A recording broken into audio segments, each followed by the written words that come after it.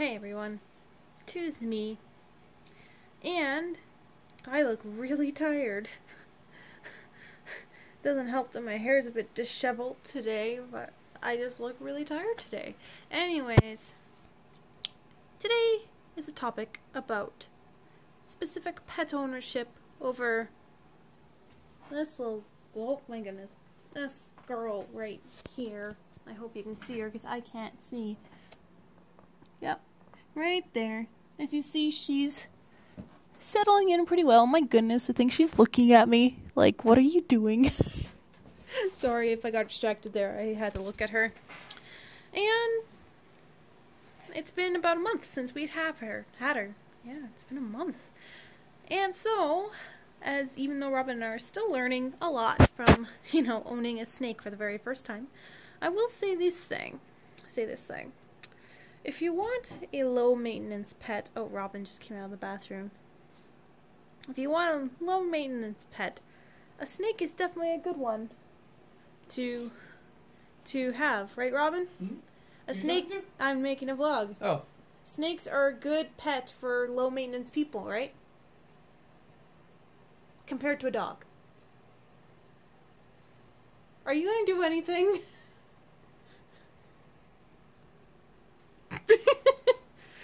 well, thanks for your contribution.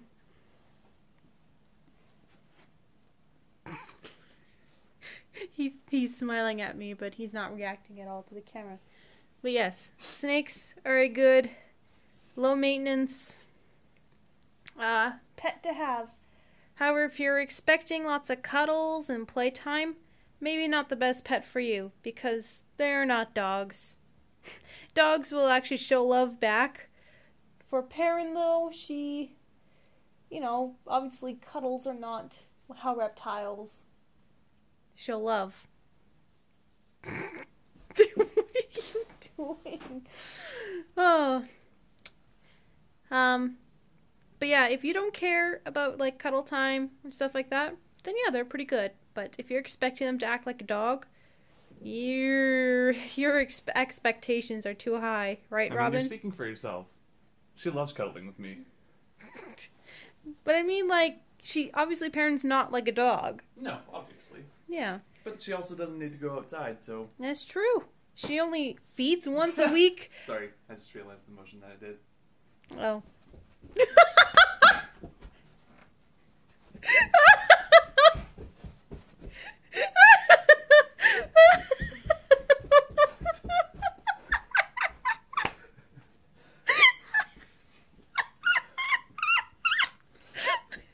Love you too.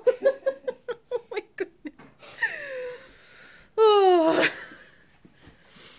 Anyways. So yeah. Anyway, it's not a dog. She will not show affection that way. Some snakes do enjoy handling. She's kind of meh. She really just likes you for your warmth. That's really it. but then she gets bored and wants to explore. That's how she is. Not all corn snakes are like this.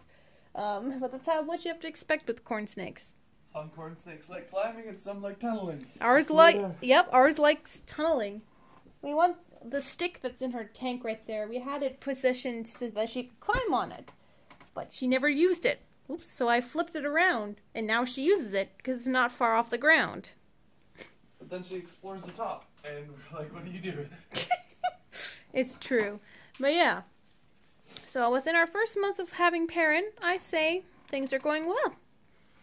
We like having a pet that we don't have to take outside every day and worry about Forever. or ever or worry about you know feeding and pooping because it only happens like once a week so really that's pretty good you know um so yeah if you want a snake um yeah go for a snake yeah i say go for it just um don't expect a lot of affection being shown back because reptiles are not like that so, anyways, I'm done rambling now. Bye, everyone.